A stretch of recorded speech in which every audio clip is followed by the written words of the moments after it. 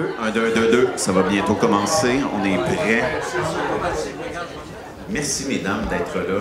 Franchement, et Nicole, tu me disais tantôt que c'est ta première leçon de cinéma. Oui. Ben, franchement, je suis honoré de, de l'animer, donc encore, euh, encore merci d'être là. On va commencer euh, avec toi, Nicole. On se tutoie, c'est correct? Oui, ça rend ça plus, euh, plus chaleureux. Donc, Nicole, tu es une femme de l'ombre à qui nous donnons beaucoup de lumière ce soir parce que euh, ton travail est quand même exceptionnel, puis ça remonte à une époque où est-ce qu'il y avait beaucoup de défrichage à faire, pour, euh, surtout pour le cinéma des femmes. Donc, euh, nous sommes dans ton parcours documentaire. Toi, la lumière cinématographique est arrivée à quel moment dans ta vie? Ton premier choc cinématographique, éveil cinématographique? En fait, j'ai vécu à Paris quelques années. Euh, j'ai eu un premier conjoint qui, lui, souhaitait et voulait à tout prix réaliser. Et euh, ça m'a allumé. Je me suis dit, après tout, pourquoi pas? Parce que moi, j'avais fait des études de technicienne en laboratoire, un peu influencée par euh, ma soeur qui est infirmière. Alors, ce, monde médical m'impressionnait, mais finalement, non. C'était pas ma façon de voir. Finalement, je suis partie à Paris euh, sans être mariée. Ma famille pensait que j'étais enceinte. Je. Oui, peut-être rapprocher le micro. Euh, Juste rapprocher ton micro, Nicole. Ah oui, Oui, ok. merci. Pardon, oui. Alors, euh, je suis partie, j'étais partie 5 ans. Et c'est là que j'ai étudié le, le montage, ce qu'on n'étudiait pas ici au Québec.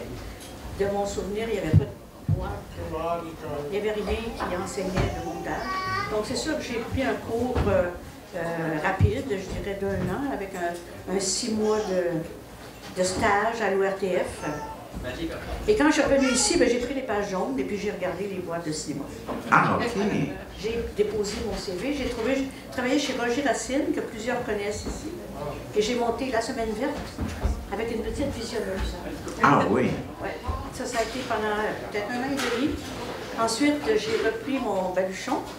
Puis je suis allée porter encore à nouveau mes CV. Et là, je suis tombée dans la boîte d'Arthur. Et il y avait besoin d'une monteuse pour euh, les films de Michel Moreau. OK, Les mais, films éducatifs. mais pourquoi le choix du montage? Ah, parce que moi... Le plus proche, on t'entend pas dans le fond. Ah, OK. Le plus proche. Ah, excusez. Le plus proche possible. Ben, moi, j'ai pas l'habitude. En fait, il y, a il y a des gens qui... a- S'il vous plaît, tout le monde, s'il vous plaît, on n'entend pas très bien, merci. Il y a des gens qui m'ont demandé pourquoi je n'avais pas réalisé. Parce qu'au bout d'un certain nombre d'années où on a monté, tout le monde me disait « Mais tu devrais réaliser. » Je dis « Non, moi, je, suis une excellente seconde. Je suis une intendance. Ça me plaît. J'aime travailler sur du matériel qui a été imaginé par quelqu'un d'autre, qui a été filmé, et sur lequel, moi, après ça, je vais pouvoir mettre ma, ma touche. Tu sais, Mais j'étais incapable de partir moi-même. Puis en plus, j'ai connu Arthur en 69 et Sophie est née en 71 et on a eu successivement deux autres enfants. Donc, euh, partir en tournage, c'était pas approprié pour moi. Alors voilà, je suis restée au montage, mais j'en étais, j'en étais très heureuse. Et à l'époque, euh, des femmes monteuses, il n'y en avait pas beaucoup. Je pense Denise, là, c'est plus toi la référence là-dessus. C'est toi pas loin, Denis, t'es, ma- t'es comme ma référence ce soir. Euh, il y avait combien de femmes monteuses dans le milieu? Il y en avait peut-être. j'ai pas compté. Oui, c'est ça, moins Je me rappelle pas dans la. À l'ONF, il y en avait- avait, il y en avait au moins deux. Oui, c'est ça. Oui, Monique Fortier. Merci. oui Monique Fortier, Claire Boyer. José Baudet, Non, elle n'était pas à l'ONF. mais elle est devenue, elle est devenue productrice à l'ONF. euh, Oui, Suzanne Allard. Mais on- on- Mais moi, moi c'est parce que finalement, c'est ma, ma relation avec Arthur qui finalement, ça a duré euh, toute la série sur les Indiens, ça a été étalé au moins sur 10 ans. Donc on s'entend qu'il y a eu euh, 19 films de fait au- pendant ces 10 années-là. Bon, on va y arriver, Arthur. Moi, je vais revenir encore en arrière. Parce que euh, le métier de, de monteuse, c'est quand même un métier très, très important au niveau de la relation avec le- les cinéastes. Euh, c'est un travail très humble avec mes, mes, euh, mes monteurs et monteuses que j'ai eus cet après-midi. On n'a pas parlé, mais c'est un travail où est-ce que justement on s'efface beaucoup puis on doit collaborer étroitement avec le cinéaste. Donc à ce niveau-là, tu disais que tu voulais pas réaliser, mais euh, ton élan créatif, jusqu'à quel point ça s'harmonise avec la vision du cinéaste? Comment tu vivais ça, toi? Je le vivais assez bien, d'autant plus que au, début, Arthur était plus interventionniste, je dirais. Euh, il aimait beaucoup les plans longs. Euh, de temps en temps, j'en coupais quelques-uns. Euh, il revenait à la table de montage, il me disait Il me semble que celui-là est un peu court. Alors je remettais le petit bout que j'avais enlevé, puis je lui disais ben, Décide, arrête où tu veux. Il arrêtait où j'avais coupé. Alors, à un moment donné, il s'est mis à me faire confiance. Mais ça, c'est intéressant aussi, une relation de couple et relation de travail. Je- comment, on, comment on met la frontière entre les deux? on n'en met pas de frontières. Non? OK, fait que même dans le lit, ça continue à parler de cinéma? Non, pas dans le lit, mais au déjeuner, oui. oui. Puis, Mais en même temps, je dois dire que si on n'avait pas été en même temps à faire le même métier, je pense pas qu'on serait restés aussi longtemps ensemble. ah, pourquoi? Je pense que ça nous a unis dans un même et dans un même projet, je dirais, de vie. Euh, parce que sinon, euh, un, un partenaire, un homme, un mari qui part tout le temps, qui part dans les tournages, et que tu restes toute seule avec les enfants, sans être toi-même impliqué, et d'une certaine façon vouloir avoir la même foi, la même ténacité, tu finis par te tanner, je suppose. hein. Parce que c'était toute seule. Lui, il s'en va, il fait son film, il tourne, il est content, il revient. Merci beaucoup. Puis toi, tu n'as rien fait, tu es resté là à garder les enfants. C'est moins drôle. là. Je pense que c'est mieux quand on est partenaire de bout en bout. Contrairement aux femmes de marin.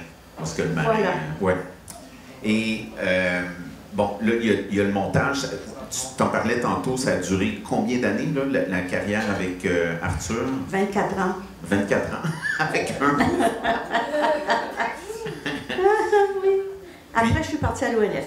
Oui, c'est ça, mais euh, là, tu disais, il a commencé à te faire confiance. Jusqu'à quel point il était présent à tes côtés dans tes montages, puis jusqu'à quel moment il a commencé à prendre le large un petit peu comme un marin, puis à, à te laisser plus de place? Il, il aimait ça être dans la salle de montage, Arthur. Et, et- et quand le tournage est fait, là, le réalisateur, tout ce qu'il a à faire, c'est de c'est d'être là et d'assister et de regarder.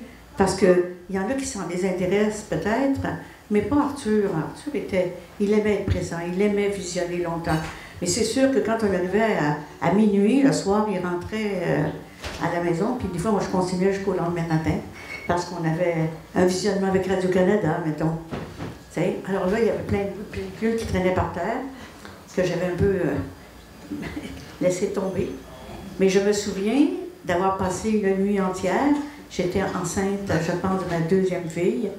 Et c'est très difficile d'arriver le matin et de, d'avoir l'air d'avoir dormi, là, puis de faire un visionnement avec Radio-Canada. Mais, mais parlons-en de la. de- excusez, je suis un peu fatigué, je mélange mes idées.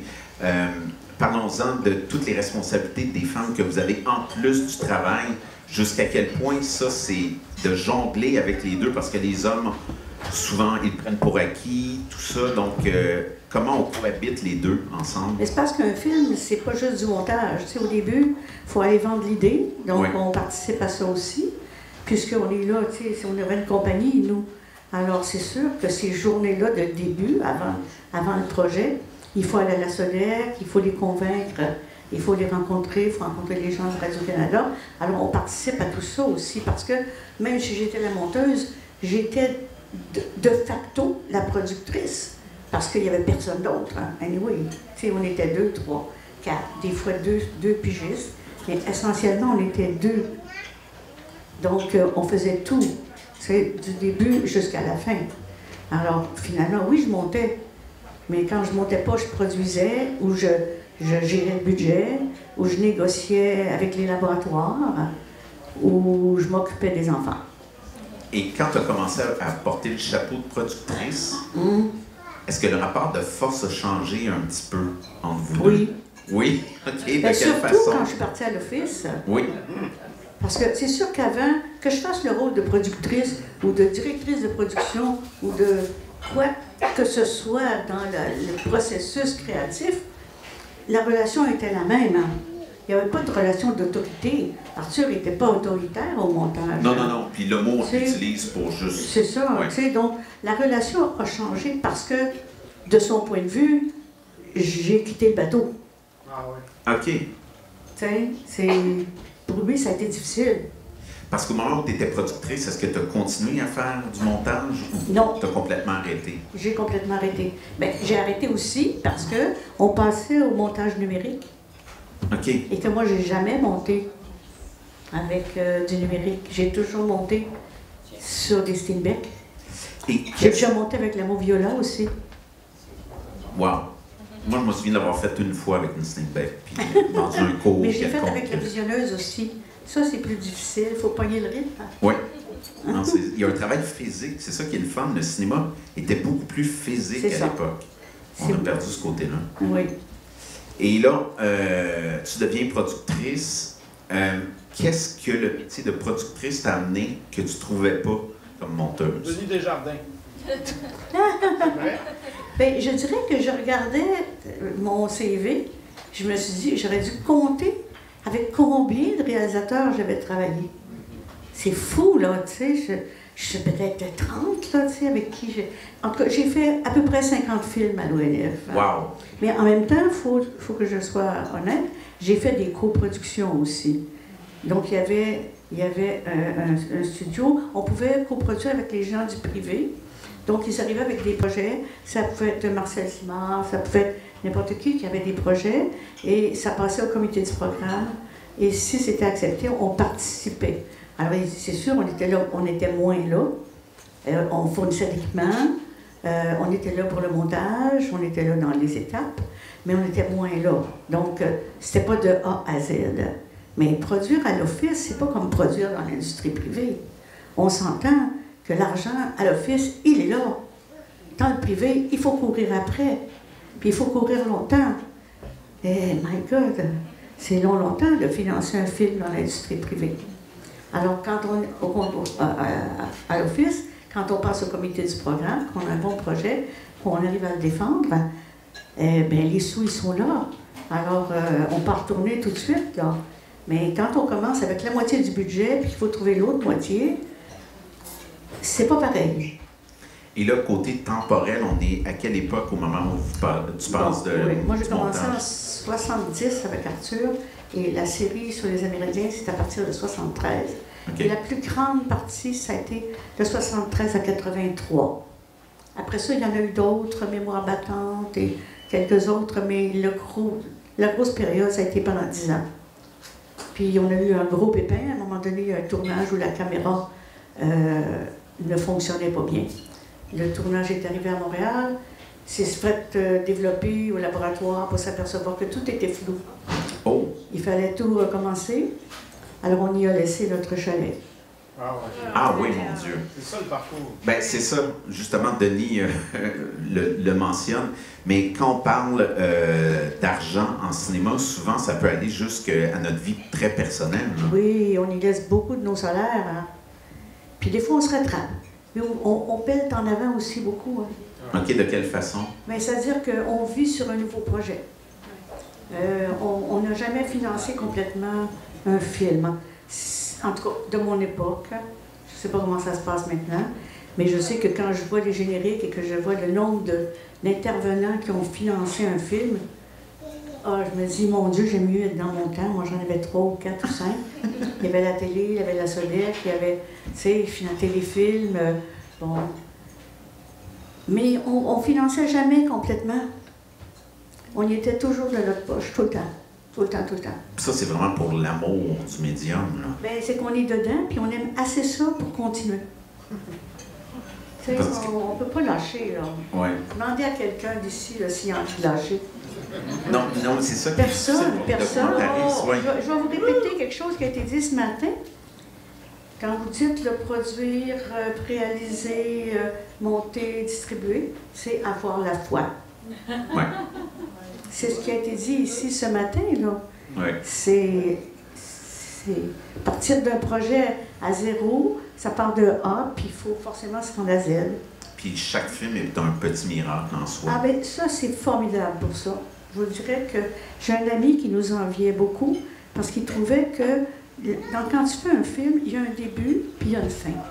Puis c'est comme un bébé, à un moment donné, il est né, il est arrivé. Tu sais?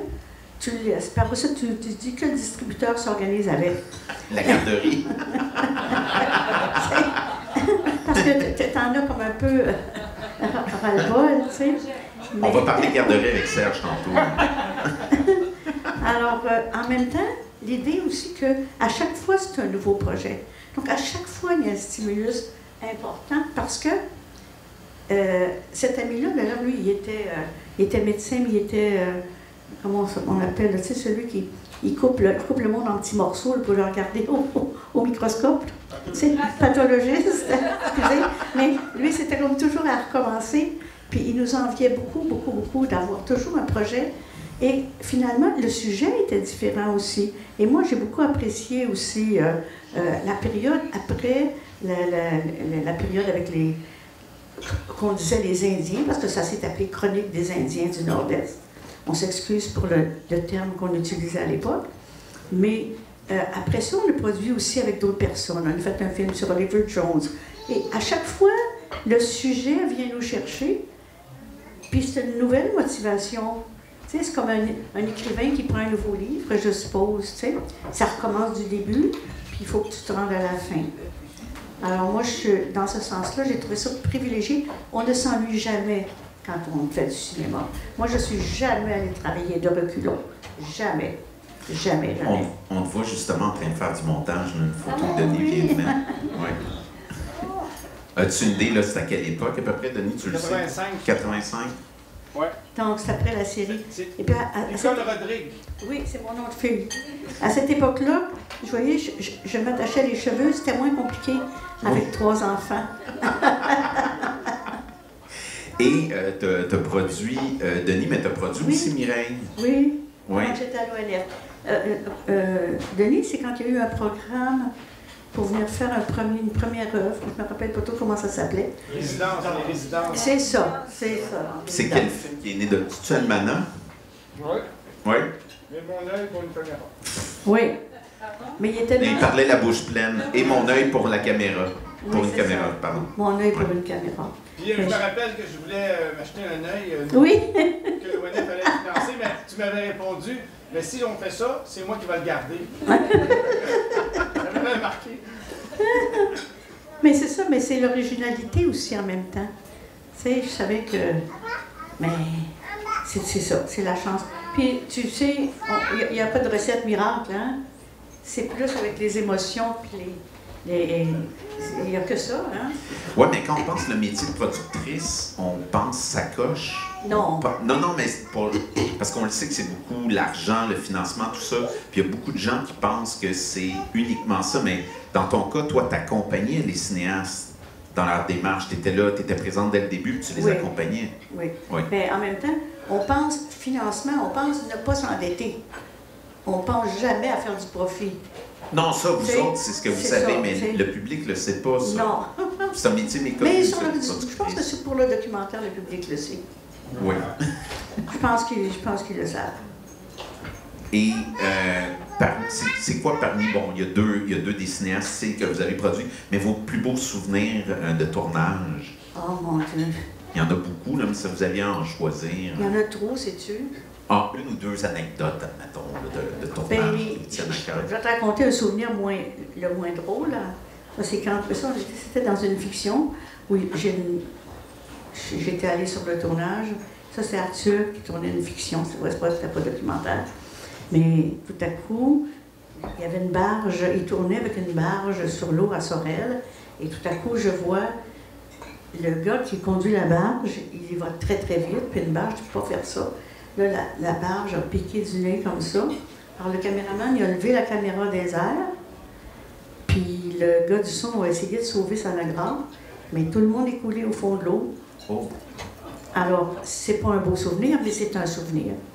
Et puis, c'est quelque chose dont on se rappelle longtemps. Parce que moi, j'étais sur place et je faisais. Est-ce que tout le monde s'en est tiré? Tout le monde s'en est tiré, mais c'est les assurances après qui ont un petit peu euh, tiqué, là. Mais euh, on a réussi à les convaincre que c'était la marge qui était défectueuse. c'est ça aussi être productrice. Ben. Mais C'est attends, ça, Mireille, je pense qu'elle veut intervenir. Non, non, mais est-ce que, est que tout le monde savait nager? Mais c'était pas profond, c'était dans les canaux de Sorel. OK. Alors, comme il y avait, puis il y avait des barques, des, des des barques à côté des canaux. Il y avait plein de canaux sur l'eau déjà, en plus de la barge. La barge, c'était pour la technique, il y avait tous les canaux parce qu'on tournait sur l'eau. Mais non, une personne est... euh, Mais ça fait peur, pareil, hein? Quand tu es sur le terrain, sur la terre ferme, puis que tu regardes ta barge couler, là. Ah, God, là. Tu te dis, là, là, comment, comment je fais pour économiser ailleurs, tu sais,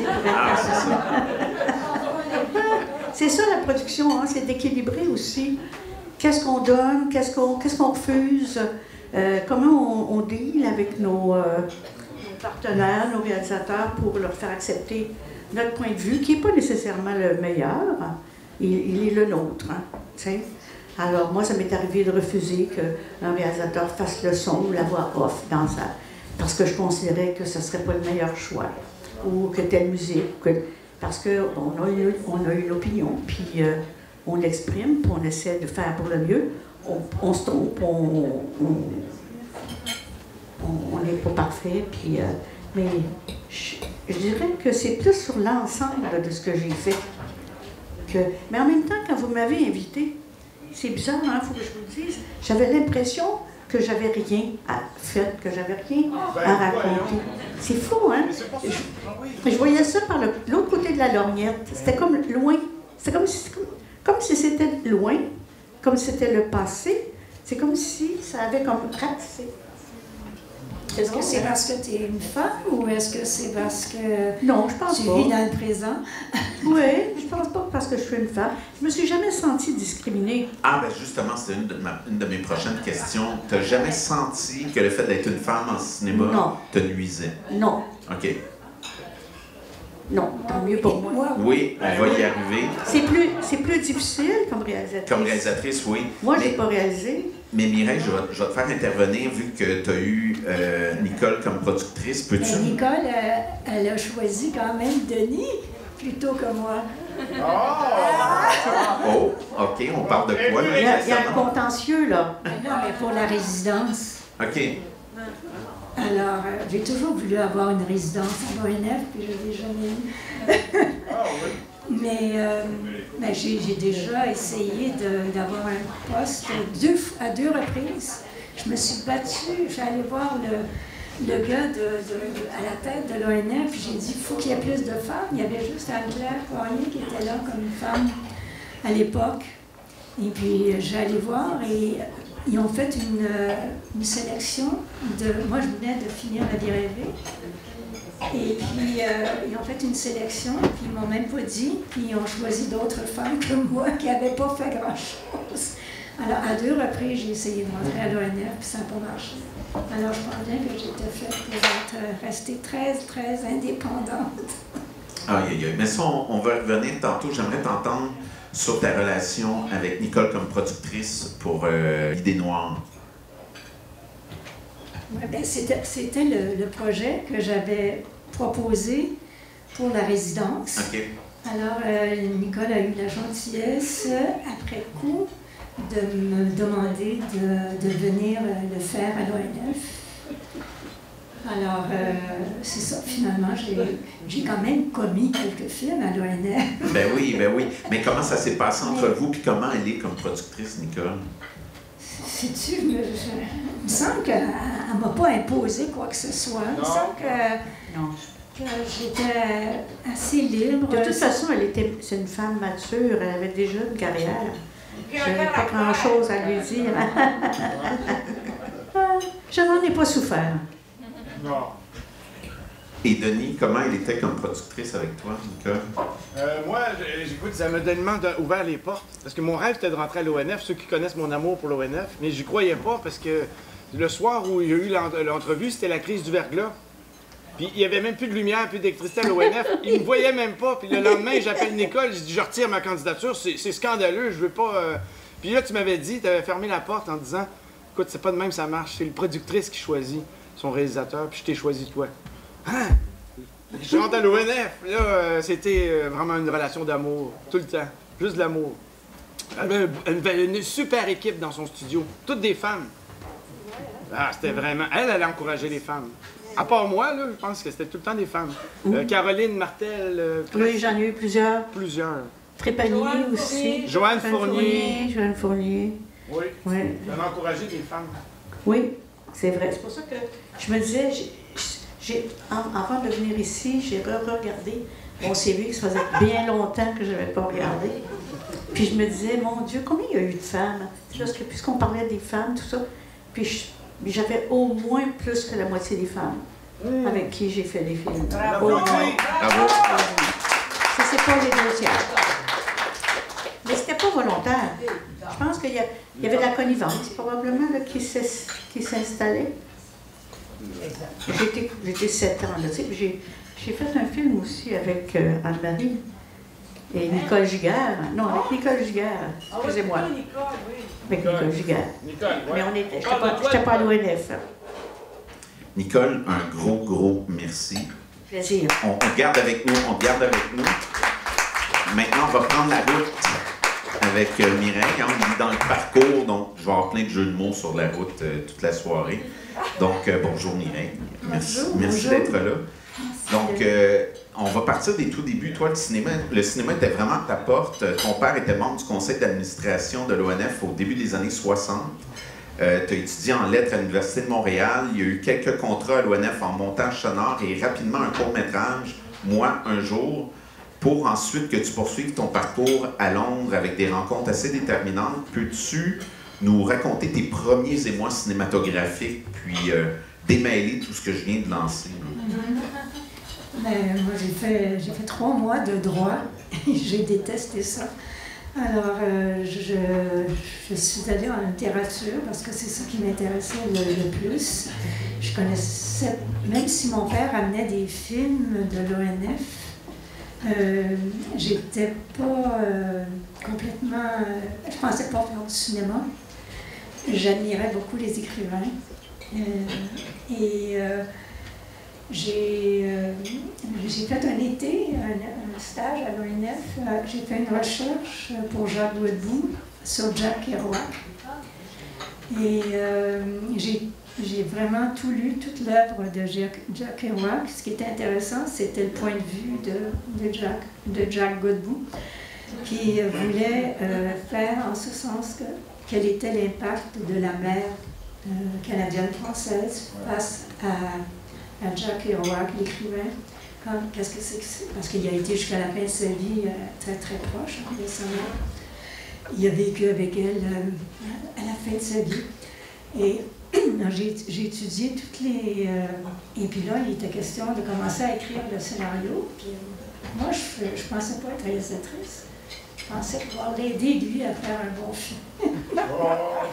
Excuse-moi, quand tu disais que tu, tu pensais pas être réalisatrice, c'est-tu parce qu'il n'y avait pas de modèle féminin?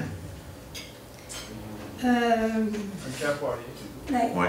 Oui, mais je sais pas, à l'ONF, j'avais pas de, de- d'entrée nécessairement. Euh, J'avais, que j'avais vu un film avec Audrey Hepburn quand j'avais euh, 16 ans, 15-16 ans, on n'allait pas au cinéma beaucoup. hein, euh, euh, un film de Billy Wilder, je pense.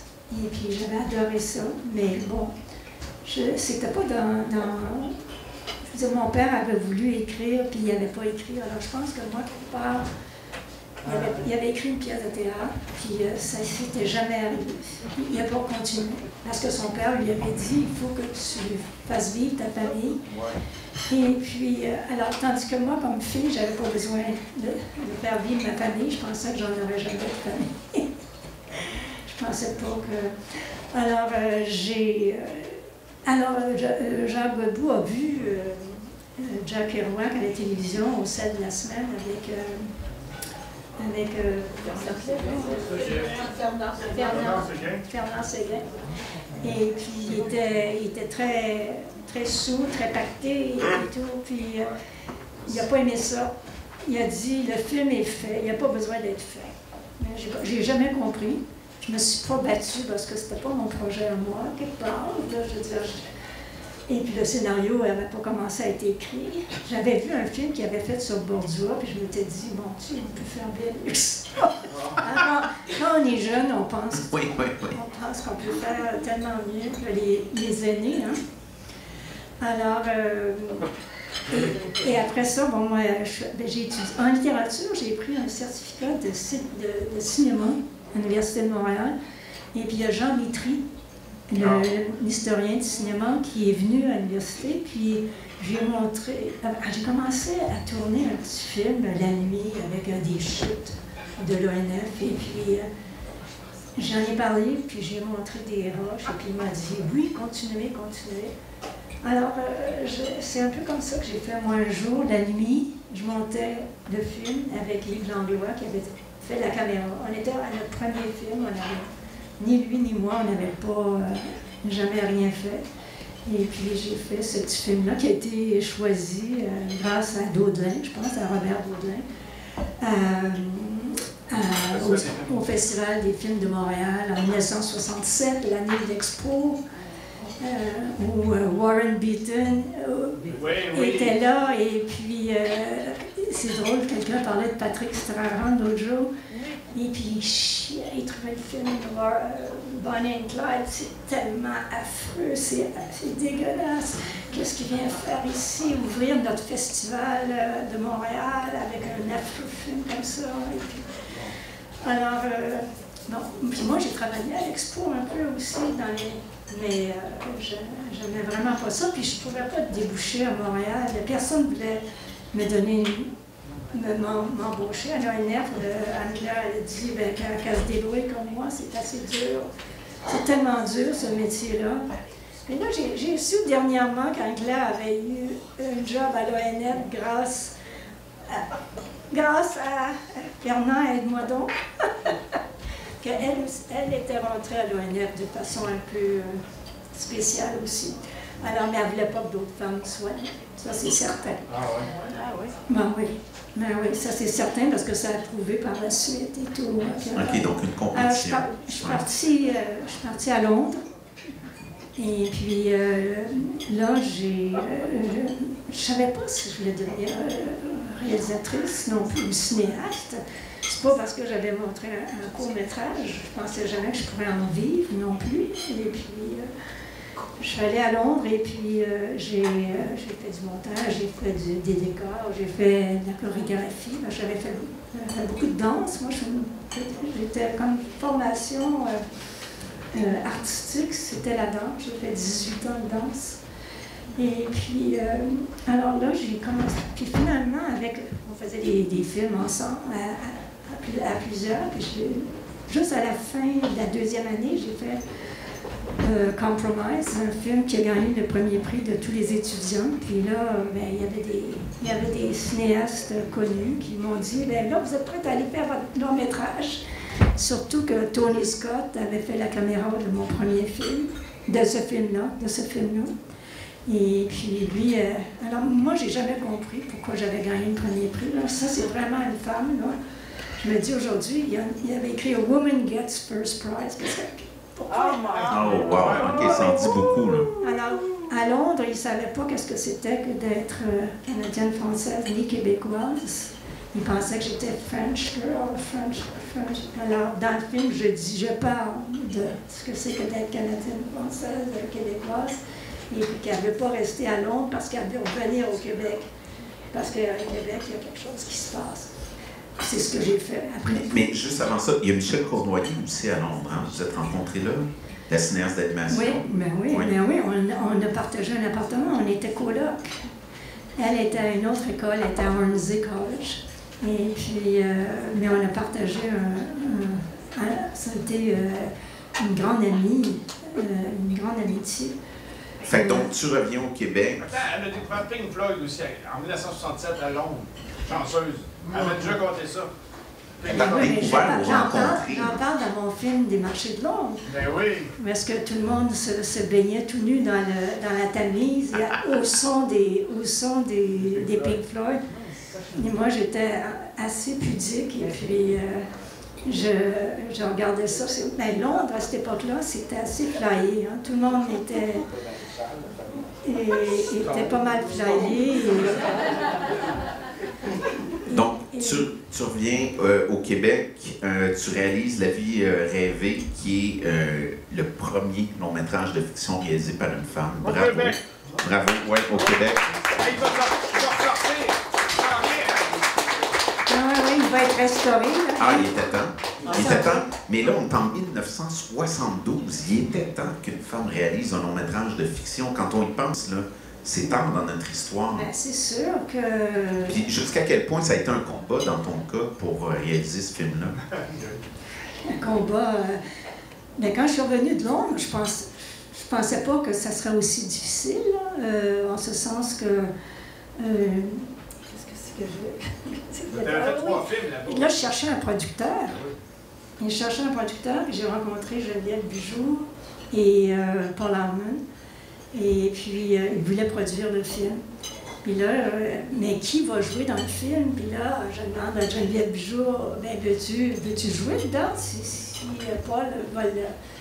Oh non, non, non, moi, c'est pas, c'est pas pour moi et tout. Alors, ben là, j'ai dit Paul Baillargeon. Oh non, non, elle est trop triste. Oh non, non, oh non, non. Finalement, il, il- ça marchait jamais.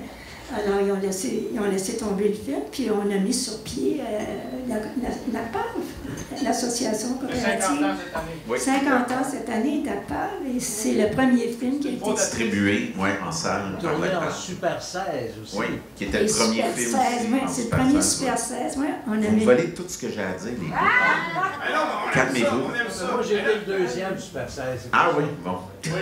Oui, on Très heureux que ça soit une femme Ben qui oui, a été la première. Ben oui. Bon. Ah non, mais il y a tout un débat là-dessus, hein. Entre Pierre Harel puis tout ça. Mais à la Non, fois, non, Pierre Harel, il a commencé à tourner, mais... euh, je sais. Pour moi, il n'y en a pas de débat, mais avec la capable, c'est toujours des débats. J'ai été obligée de me battre pour dire que le, mon film est en 72, puis celui de Harel est en 75. Ah mon Dieu, quand même 300 d'écart. Mais oui, mais c'est qu'il avait commencé. Ah, Il ok. avait commencé, mais je veux dire, là, j'ai été obligée de me battre pour dire que le film, c'est l'année où est-ce qu'il sort. Oui, c'est comme une évidence. euh, et Et- puis, Et ce film-là, euh, normalement, on penserait que ça facilite pour la suite des choses, pour la suite de ton monde, mais comment ça s'est passé? Dans ton cas? Ça t'a ouvert toutes les portes ou au contraire, ça a été, non, pas du tout. ça a été non. ça, difficile encore par gens, la suite? ben, il faut dire que moi, j'étais à une époque parce que c'était ce qu'on appelle aujourd'hui le Boys Club. Martine Delvaux le décrit très bien. Oui. Euh, J'en étais pas consciente, mais c'était à ça que je me, je me frappais quand même, à l'ONF, ainsi qu'à la PAV, encore. Euh, à la PAV, euh, les gens, euh, les- mes confrères, que, que- que- dont il y en a plusieurs que j'aime- que j'aimais bien, surtout, euh, euh, surtout qui, qui est mort. Qui est mort. Non, non, non. Le seul, qui- le seul qui m'a défendu à la PAV, c'est. Il est mort. Hein? Ah, ben Jean-Pierre, c'est non, je sais pas. Non, non, non, non. Ah, c'est triste, ça, on s'en rappelle pas. Il faut savoir. Oui, oui. Quelqu'un qui t'a défendu. En tout cas, il y a- moi, tandis que les autres disaient, ben moi, ma blonde, elle rêve pas comme ça. Pourquoi tu, pourquoi tu montes des rêves comme ça? C'est un peu étrange, euh, tout ça. Il voulait pas que je le fasse, le film, mais comme euh, Téléfilm, qui était à ce moment-là, euh, et il y avait Gracien Gélina, qui était à la tête de, le- de, de Ah ouais. La SDIC. la SDIC. La Ah oui, au début. Gracien Gélina, je me suis assise avec lui, il a passé à travers, tout le scénario. Il m'a dit là, c'est pas clair, là, c'est clair, là, c'est pas clair, là. Puis ça m'a, aidé. Et puis, euh, après ça, ben, les gars à la ils ont dit euh, bon, ben, l'argent est là. Il y avait 50 000 piastres. On a acheté une caméra, on a acheté euh, euh, une table de montage. Et puis, euh, on a tourné sans les, sans les unions, sans rien. Ça a été euh, d'une grande liberté. On faisait tout. On faisait le, je- on faisait tout. La, la production, on faisait tout. Tu Euh, voulais monter une équipe de filles. Autour de toi, tu voulais des femmes. C'était pas possible. je pense pas. Je pense qu'il fallait que tout le monde soit à son premier long métrage. Puis euh, François Guil, c'était son premier long métrage. Euh, mais j'avais juste une assistante qui était Brigitte Soriol.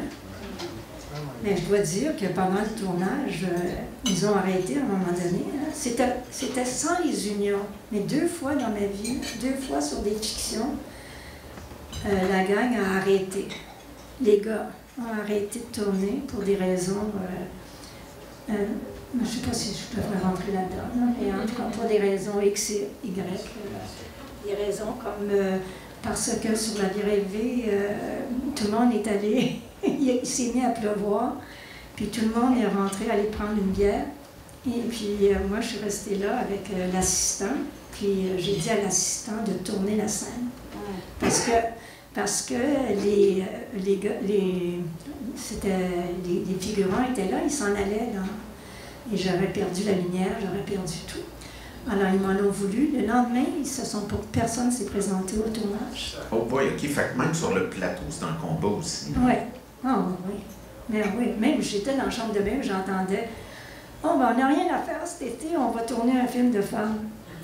Un film de femme. Wow, c'est. On n'a rien à faire cet été. Alors, euh, je me dis comment, comment j'ai fait. Mais je pense, j'entendais, mais tu sais, j'entendais pas. Quelque part.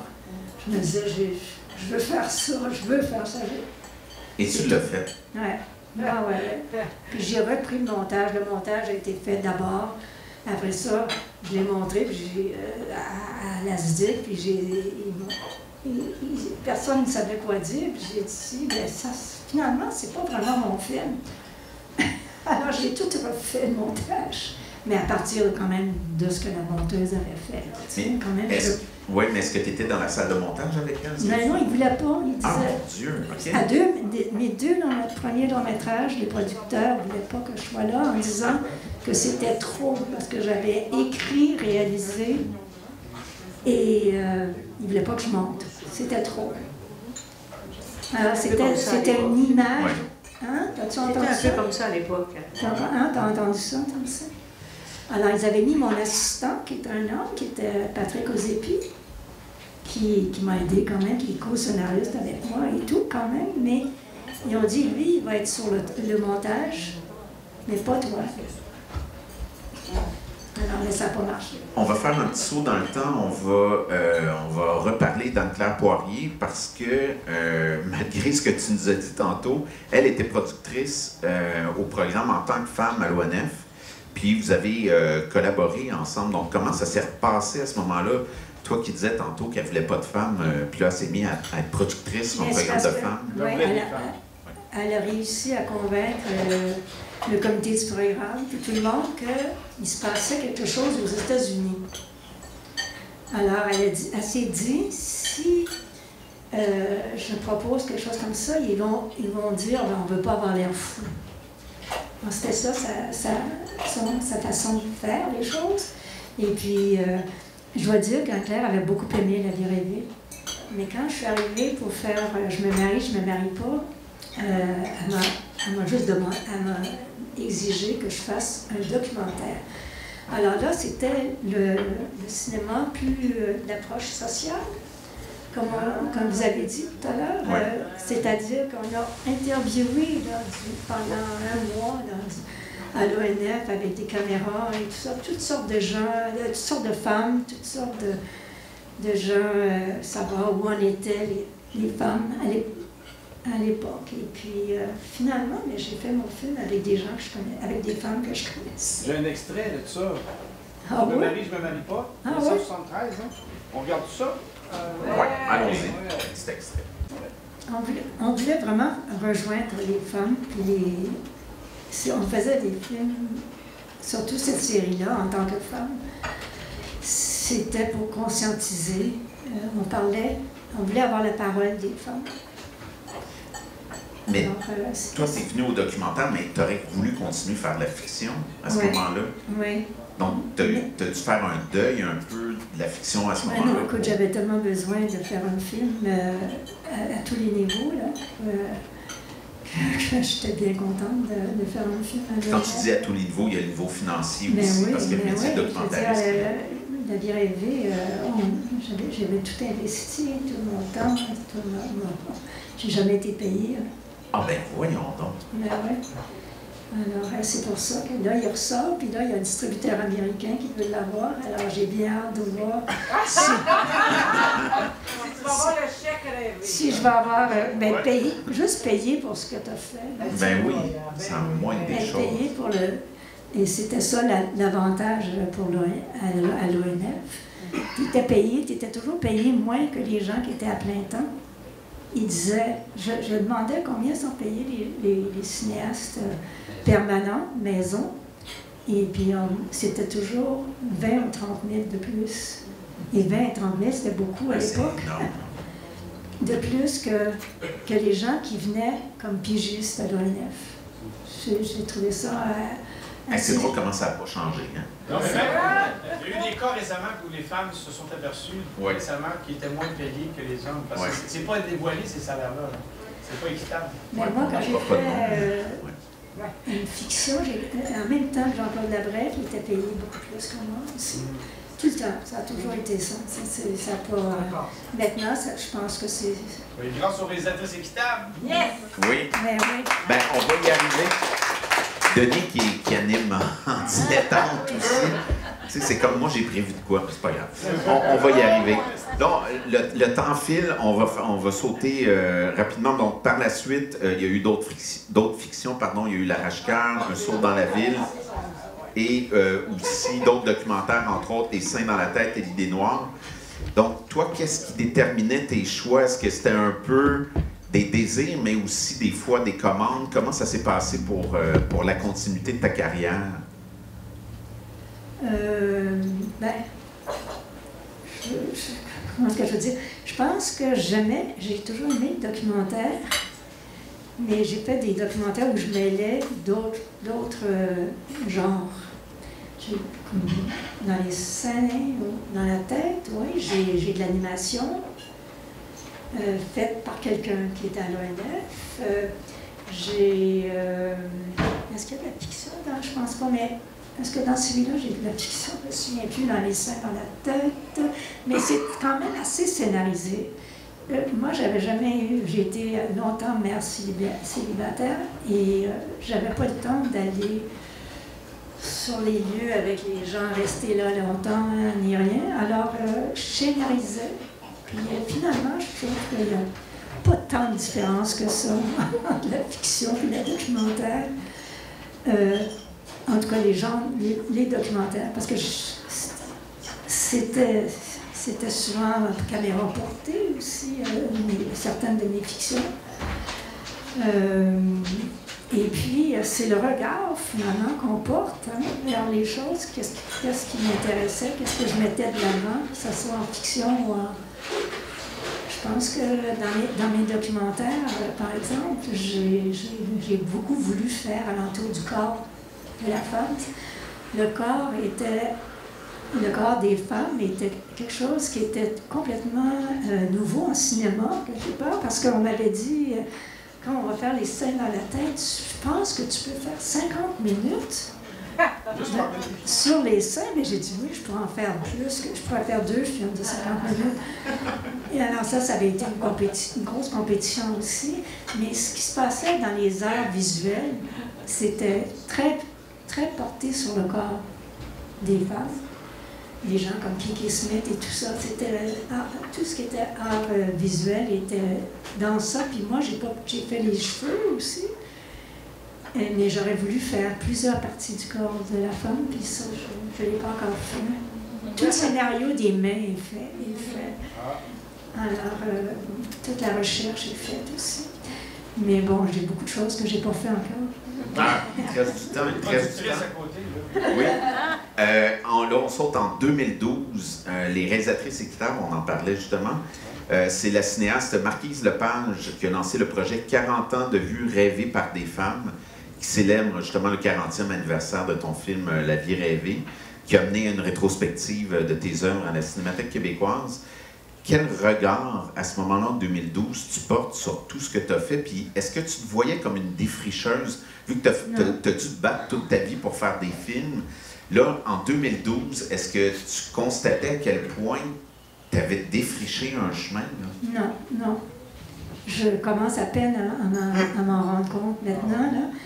Parce que mon conjoint, Jacques Langlois, est en train de numériser toutes mes archives. J'ai des archives de Londres, j'ai des archives de des choses qui sont en train de, de disparaître. Et puis, euh, alors, euh, Jacques est en train de... Ben, Merci, Jacques. parce que Oui, merci précieux. Travail précieux. Et puis là, ben là, il me force à regarder, parce que moi, j'ai jamais aimé ça, regarder les, le pa- les, les films du passé. Et je me disais toujours, euh, non, ça va être le prochain qui, qui va. Hein, on- en fait, si on continue à faire des films, c'est parce que on n'a pas réussi encore vraiment ce qu'on voulait faire. Et puis, on n'a pas exprimé encore tout à fait, on n'est pas allé au bout. hein. Sinon, ben, on, a- on arrêterait. On a su- J'ai souvent pensé que j'arrêterais. Et puis, euh, on reprend, on- c'est- une passion, c'est un...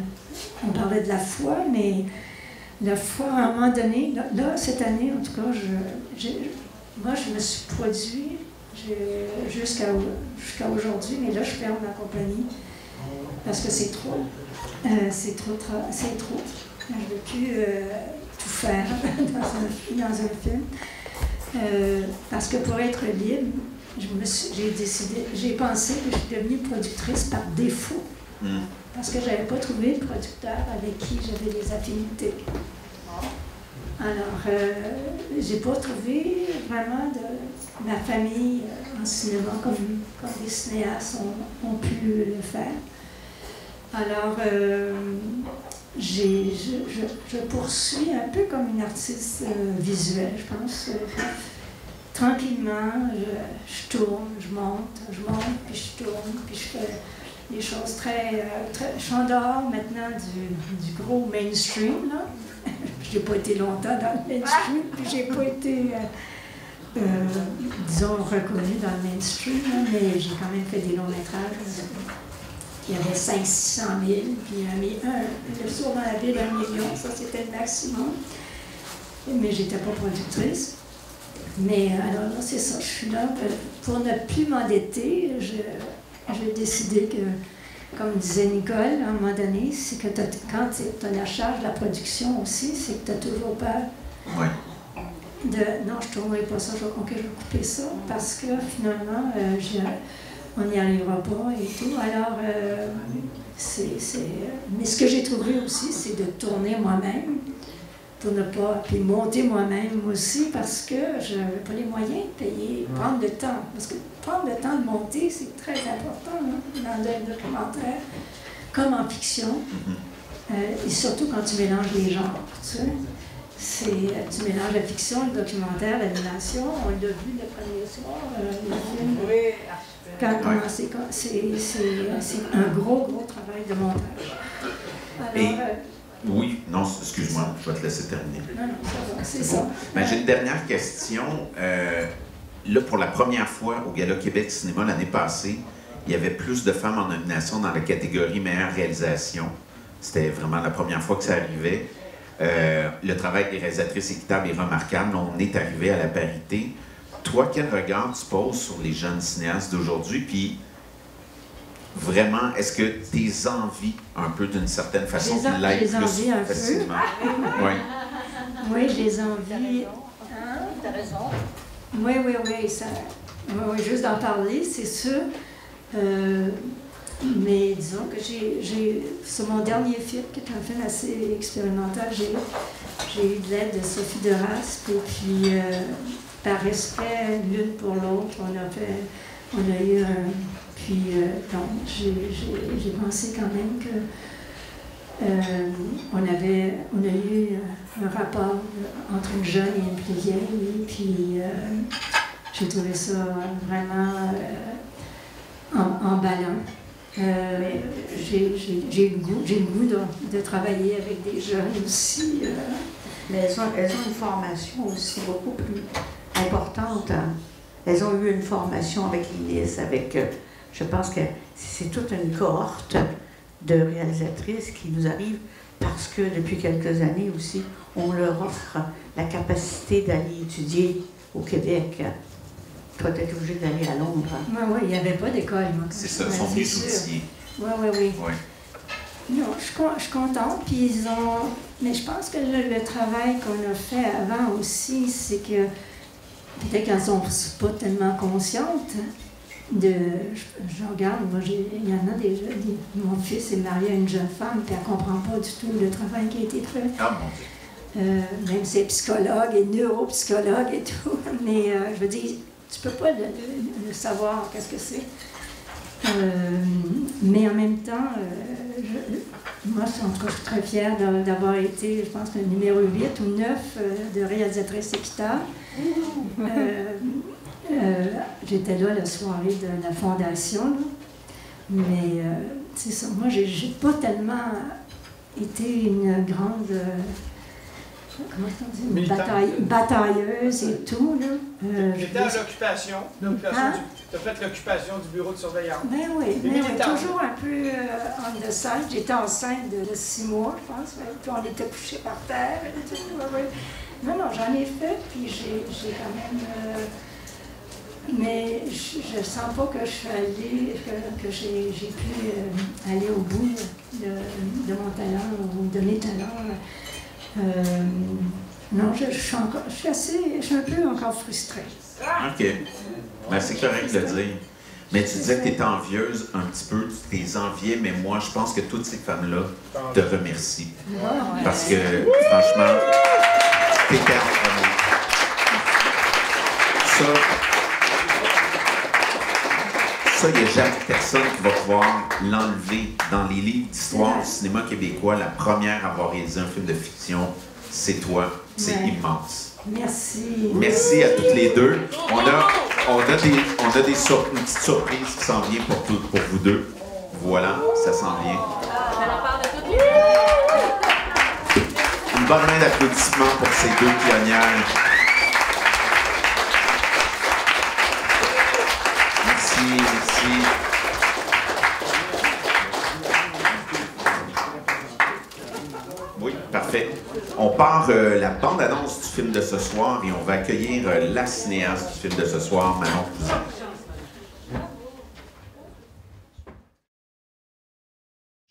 Parce qu'on ne sait pas encore à quelle heure on va le présenter, à quelle heure on va finir cette All activité-là. the Englishmen, they have St. George's Street. Excusez-moi, ça c'est YouTube, hein? c'est? Oui.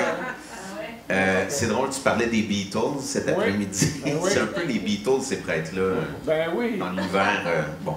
Manon, bonjour.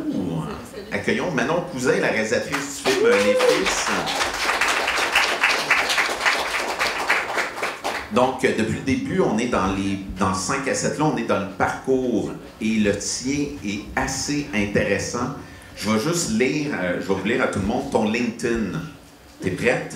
OK, sur ton LinkedIn, c'est écrit que tu es productrice, réalisatrice, scénariste, auteur, recherchiste, directrice photo, photographe, recherchiste, entrevue sur des séries documentaires télé, gestion de projet, direction de production, consultante, service conseil pour affaires culturelles et artistiques, Chine. Et tout ça en plus de parler français, anglais, mandarin, avec des notions en espagnol, italien, allemand, russe et arabe. Non, non, mais c'est pas la blague. Euh, OK, qu'est-ce qui arrive en premier là-dedans? Ton parcours commence où? Il est où le début? Ben, euh, Micro. Merci. ben, en fait, euh, je pensais jamais faire un film. Ça, c'est arrivé, euh, c'est arrivé, et ça m'a étonné que je puisse faire ce film-là, mais j'ai vécu en Asie, donc c'est ça, le... J'ai vécu en Asie, en, Chine. Je faisais de la photo, en fait. Je suis photographe. Et c'est là où j'ai un petit peu appris le mandarin. Euh, Pourquoi la Chine? Ben parce que, en fait, je voulais, je voulais quitter Montréal, c'était les années 90, puis ça me semblait bloqué partout. Euh, je, me disais, bon, faut que je parte. Je suis partie en voyage, en. Je suis partie faire un voyage d'un an en Asie. Puis la Chine m'a interpellée, je dirais. Et je suis revenue m'installer à Pékin pendant quatre ans. Alors, euh, c'est là où j'ai appris un peu le mandarin. Et là, j'ai vraiment beaucoup fait de photos. Là, ça, c'est comme ça a été une révélation là, de, de photographier la Chine, surtout Pékin. Euh, donc, c'est ça euh, mon, par- mon, mon parcours. Je suis revenue à Montréal, puis bon, écoute, euh, j'ai continué à faire de la photo. Et puis, je me suis mis à. J'ai développé au départ un projet sur la- la- l'artiste Liu qui est une- je sais pas si tu la connais, c'est une musicienne chinoise, mais établie à Montréal. Euh, alors, c'est ça, j'ai tourné avec elle aussi. Mais financer le film, c'était quand même compliqué. OK, donc le cinéma a toujours été présent. C'était, tu, euh, tu disais que c'était pas ton objectif de réaliser un film, mais il y avait quand même dans ton inconscient une Ah idée de sûr. ça. Oh oui. J'avais étudié en journalisme, en fait, mais euh, tu sais, c'est- des rêves. là. Faire un film, on, on est conscient que c'est compliqué, puis c'est long, puis il y a beaucoup d'appelés, peu d'élus. Alors, je j'ai pas fait d'école de cinéma, ou j'ai pas, je cherchais pas à tout prix à faire un court-métrage, ou à... Tu vois, mais c'est arrivé. Les Fils, je pense que j'avais... un- Ce film-là, je pense qu'il y avait un rendez-vous euh, avec moi-même Ouais. pour réaliser ce film-là. Ça, on va en parler ce soir après la projection. Ah, Des fils de, du... ok. Comment amené à ça, parce que ça remonte à bien avant que tu penses au cinéma. Oui, exactement. Fait que ça, on va en parler plus tard. On est de la même génération, génération X, la génération oubliée de toute l'histoire de. On est, euh, C'est on vrai. est- Mais c'est vrai, c'est vrai. On est tout le temps squeezés, nous autres. Oui, Euh, donc, je suis pas surpris que le cinéma soit arrivé tard dans ta vie. Moi, la critique est arrivée tard, tout est arrivé tard aussi. On, est, on a beaucoup rattrapé du temps perdu. On s'est beaucoup cherché. On nous a pas guidés tant que ça non plus. Il y en a qui ont pris beaucoup de place longtemps. On n'aimera pas personne.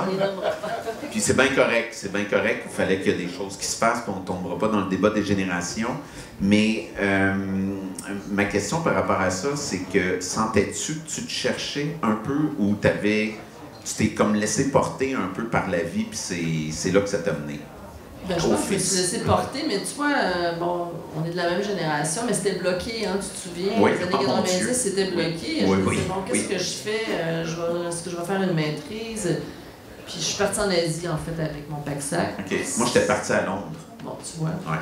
Alors, ben, j'ai passé, j'ai été partie un an, mais quand je suis passée par la Chine, je savais ou je ressentais que la Chine allait, allait prendre la place qu'elle a prise. Puis, OK, tu le sentais déjà. Oh oui, Ouais. je suis revenue à Montréal, mais c'était toujours bloqué au niveau professionnel.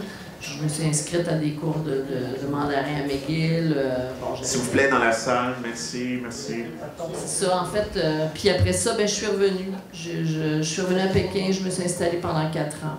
Et euh, j'ai fait plein, de- plein de boulot, je dirais. J'enseignais, j'avais, je prenais des cours, je faisais de la photo. Mais je revenais à Montréal à chaque été. J'avais un boulot à Radio-Canada International, la section chinoise. Et- puis, euh, donc, c'était comme si je, je partais de- de- du mois de septembre à mai à Pékin. Je revenais à Montréal, je repartais. J'ai fait ça pendant quatre ans. OK. Et la photo a toujours été présente, la photo qui est pas si éloignée que ça que du cinéma. Mais qu'est-ce que tu trouves dans la photo qu'il n'y a pas dans le cinéma? On pourrait souvent penser l'inverse, mais il y, a, il y a quelque chose quand même qui t'appelait beaucoup dans la photo qui, que- que- qui a été présente là, toute ta vie. Oui, qui, qui, qui m'appelle toujours. là. Ouais. Je, je resterai toujours. Ben, en tout cas, je vais toujours m'intéresser à la photographie. Euh, ben, en fait, c'est. Ben, en fait, je me suis. Je pense que c'est la Chine, la- l'Asie qui m'a qui m'a révélé. Là, je, là, je sentais. Ben, c'est le photographe Sam Tatan là, qui disait que bon, il était né en Chine, il est arrivé à Montréal dans les années 50, puis il disait que quand il est arrivé à Montréal dans les années 50, il avait, il avait l'impression d'avoir perdu sa, sa, capacité de voir, parce que les villes asiatiques sont peuplées, il y a du monde, il y a de la vie, il se passe quelque chose, donc tu es tout le temps... euh, quand tu arrives à Montréal, bon, c'est- plutôt... euh, C'était calme aussi à l'époque. Euh, donc, euh, quand je suis arrivée en Asie, ben, c'est c'est- ça a été, un pas un choc, mais ça a été euh, une révélation, je dirais. OK. Oui. Et le fait, l'image qui bouge puis l'image qui est statique, de capturer le moment présent, Mm.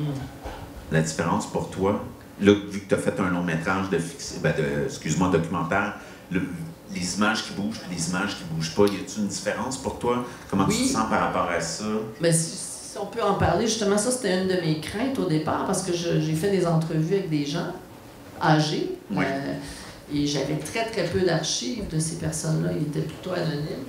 Et euh, donc je me suis mis à vouloir euh, collecter des photographies de Pointe-Saint-Charles, de leur passé. euh, tu sais, je, faisais des appels à travers les, les- les gens de Pointe-Saint-Charles et tout ça. C'était vraiment une de mes craintes parce que j'avais j'avais des entrevues, mais je me disais, je pourrais pas faire un film avec ça. J'ai- ça va être des têtes parlantes. Euh, donc, c'est ça, quand je suis arrivée à l'ONF, et là, je me suis mis à visionner beaucoup de films. Et là, bon, il y avait des images qui évoquaient un peu ce que les gens me racontaient. Alors là, c'est là que j'ai commencé à vraiment euh, à mettre en image, si voulez, le- le- ce qu'on me racontait. OK, puis ça, on va en reparler aussi Oui. plus tard parce que cet après-midi, on avait un atelier avec des monteurs et monteuses Ouais. sur les images d'archives. Fait qu'on va pouvoir comme boucler la boucle. Il y a un autre métier que tu as pratiqué qui n'est pas fréquent et qui est assez fascinant euh, dans le cinéma. Ce que les Français, nos, nos amis français appellent les scout managers, ceux qui trouvent des endroits de tournage, puis c'est le fun, ça. C'est drôle, moi j'arrive de vacances et j'ai parlé à une amie de ma copine qui a fait ça, est scout manager à Paris pour des, des gros films français. Donc toi, on payait pour trouver des lieux de tournage qui euh, faisaient référence au scénario. Peux-tu me parler un peu de ce métier-là? Comment on aboutit à ça?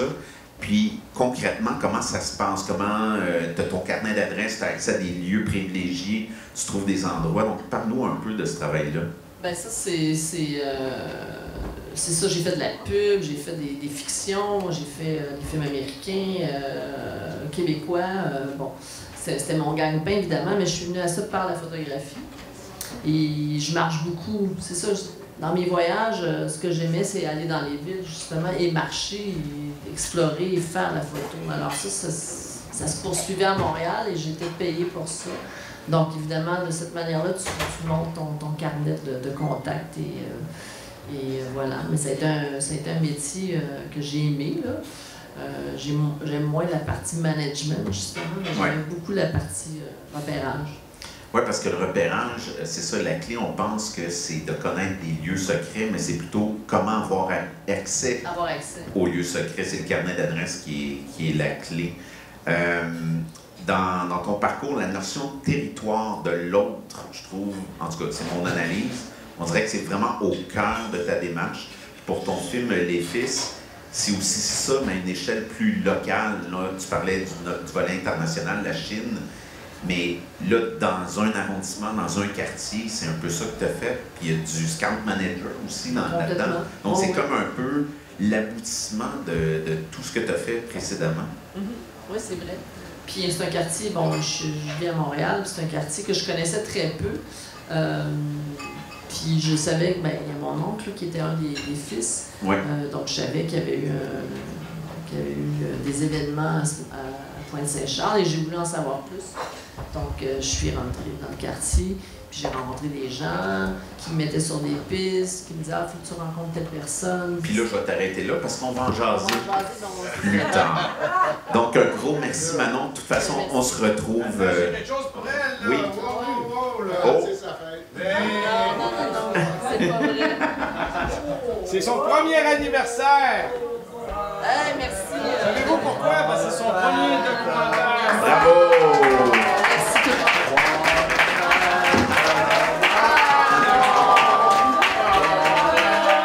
Yeah, bravo! on se retrouve tantôt.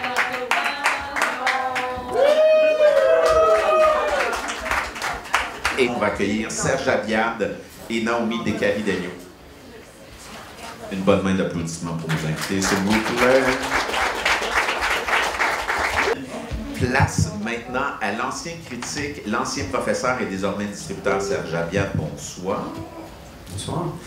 Et Naomi Descaridegno, réalisatrice, directrice artistique et co-directrice générale de Tank.ca et militante ré, réalisatrice équitable. Bonsoir Naomi. Salut! Qui a réussi à prendre le traversier juste à temps. Super. Je suis arrivée vraiment d'avance. finalement. Oui, finalement, tu as eu le temps de t'asseoir. C'est parfait. Donc, euh, pour, euh, pour- vous avez deux parcours complètement différents, mais qui vous mènent un peu. La distribution-diffusion n'est pas quand même si loin que ça. En documentaire, entre autres, il y a de la fiction aussi à la distributrice. Le monde évolue vraiment rapidement, puis trouver son public aussi. Donc ça, ça a été, euh, on va parler de la pandémie, entre autres, qui a comme été un accélérateur à mes yeux. On va en reparler à ce niveau-là. Euh, je vais commencer avec toi, Serge. tu es un ancien critique de cinéma, ancien professeur de cinéma.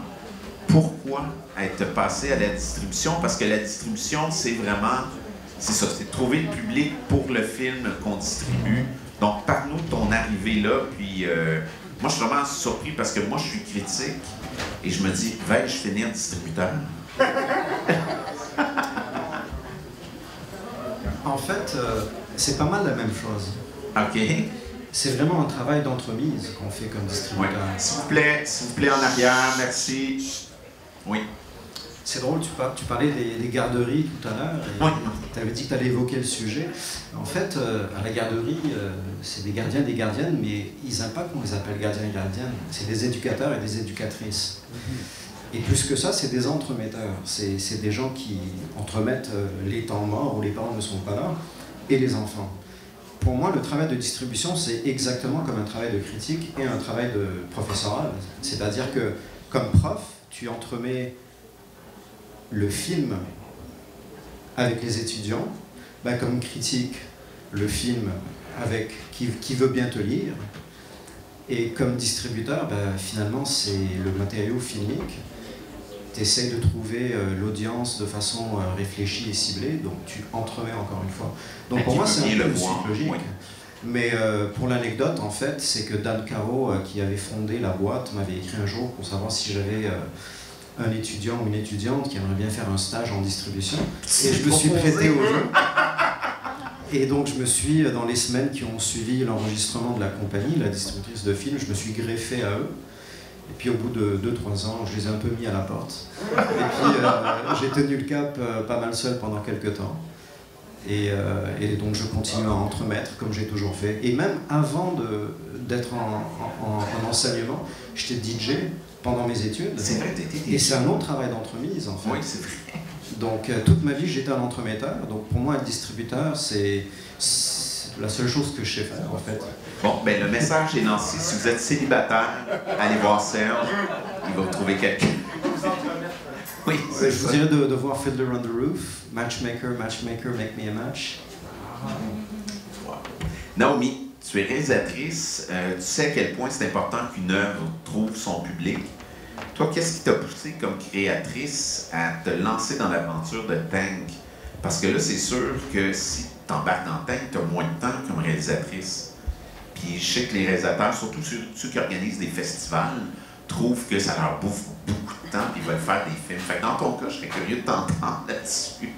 Ben, c'est vraiment ça. Je pense en fait que ça répond à plein de besoins. Je pense qu'en tant que créatrice, comme enfin tous les créateurs probablement ici, ce qui te nourrit, c'est les autres œuvres. C'est d'avoir accès à des œuvres. Puis quand j'étais aux études, on avait le fameux euh, club vidéo de l'UQAM, euh, du cégep, où là, j'allais chercher des films, puis ça a disparu. Fait que je pense que j'ai été rapidement euh, témoin de la disparition des œuvres, de la difficulté d'avoir accès à ces films-là. Puis je pense aussi, moi, j'ai toujours été aussi très entremetteuse. J'ai j'ai enseigné un peu aussi, j'ai euh, j'ai animé des ciné-clubs, j'ai fait Cinéma Politica pendant des années. Puis je trouve que plus que de faire des films, l'important c'est de les montrer.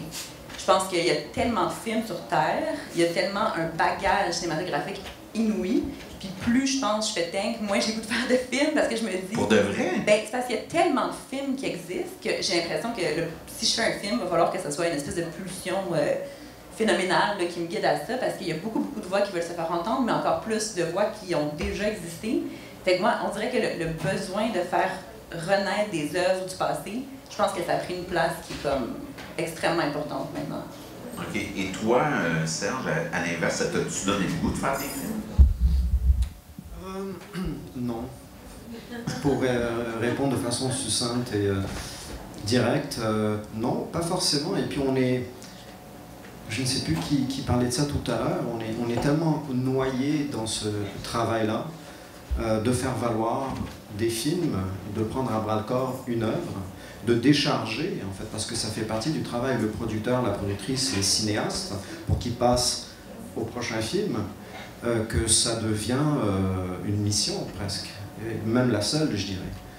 Donc, parfois on me dit, bon, si jamais tu es amené à, à mettre la clé euh, sous, sous le tapis, euh, tu feras quoi par la suite? Ça me fait très peur d'y penser, en fait. Certainement pas des films, je ferai pas des films. Mais revenir à, à l'éducation? Oui, possiblement. C'est c'est une porte qui reste ouverte. Mais de toute façon, ça va bien, la distributrice. Nous, on parle juste Ça se passe pas si mal, il y a des gens qui, qui nous achètent des films. Mais justement, Tank, c'est né en France. On avait fait le lancement il y a deux ans ici euh, de tank.ca. Euh, c'est quand même pointu, une plateforme dédiée juste aux documentaires.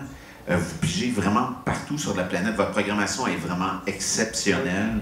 Je suis abonné, j'ai juste pas le temps d'en voir tant que ça, mais à chaque fois que je reçois le courriel, la nouvelle programmation, je tombe des nues. Il y a tout le temps plein de films que je veux voir, puis on manque tellement de temps.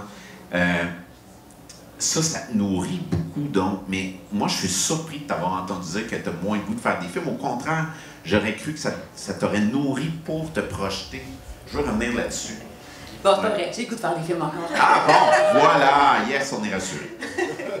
non, mais pour vrai, oui, oui, c'est sûr qu'à chaque fois que je vois des films, surtout des regards très singuliers, puis curieusement, justement, la distributrice, je pense, amène des, des films avec des regards vraiment neufs.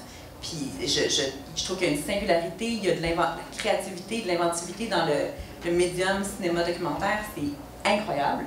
Puis autant les films euh, des années 60 que les films de maintenant, je dirais, je suis il y a comme un effet de non-répétition. Tu sais, des fois, je me dis, est-ce que justement, on se tente à un moment donné à faire ça, à avoir autant de films? Est-ce qu'il y a une espèce de lassitude? Puis curieusement, non, ça, ça fait ressurgir des besoins de, de, de création, oui, ça fait ressurgir des besoins d'en voir plus, et ça ouvre, ça ouvre les horizons. Fait. Mais on dirait que cette mission-là, moi, mon, quand j'entendais tantôt les parcours euh, de Nicole Lamotte puis de Mireille Dansereau, je me disais, des parcours tellement, de, des chemins de croix, c'est tellement difficile que ces films-là disparaissent pour moi, c'est ça, c'est un drame, c'est une tragédie. Plus que de pas faire mon prochain un film. Tellement tragique pour moi que la mémoire disparaisse, que les films ne soient pas vus, que qu'on soit soumis à une espèce de dictat aussi de, du film de l'année, des films de festival, qui a gagné quoi. Des algorithmes. Des algorithmes. Cette vision-là qui se rétrécit de plus en plus. Puis de sentir aussi. J'ai deux tragédies. Là. Ma première tragédie, c'est que ce passé-là se, se, se perde puis aussi toute la question de la, des médiums qui disparaissent. Quand Mireille Dansereau dit que c'est son conjoint qui est obligé d'aller archiver ses films, je me dis il faut qu'il y ait une cinémathèque documentaire qui fasse ce travail-là. Nous, on s'aperçoit qu'il y a plein de films de l'ONF qui ne sont pas sous-titrés en français puis en anglais. Fait qu'on fait ce travail-là. Je m'aperçois, il y a Alan King, un grand, grand cinéaste documentaire euh, torontois. Ses films ne sont pas sous-titrés en français. Là, je veux, faire cette mission-là cette année parce que je trouve que c'est complètement aberrant. Fait ça, ça m'habite vraiment beaucoup. Puis ce qui m'habite secondement, c'est où est le public documentaire? Quand je vois la télé qui n'est pas là, quand je vois Internet qui prend cette place immense, quand je vois la, dictature des algorithmes, je me dis, ça, ça c'est un vrai, vrai drame. Puis c'est un drame pour la démocratie aussi. Il faut que ces films-là circulent, il faut qu'ils soient vus. Il faut qu'on convainque les gens que c'est des films à voir et à partager. Fait que ça, moi, vraiment, avec Tank, c'est les deux missions. Là. Développer un public documentaire qui voit ça à longueur d'année pas de manière sporadique, pas juste le milieu, pas. Il faut que les gens soient nourris, c'est une nourriture de l'âme, puis ça, il faut que ça soit tout le temps. Fait à voir, est-ce qu'une plateforme documentaire peut, peut faire ça? Peut-être pas, mais enfin, ah. on va. Vous êtes bien parti.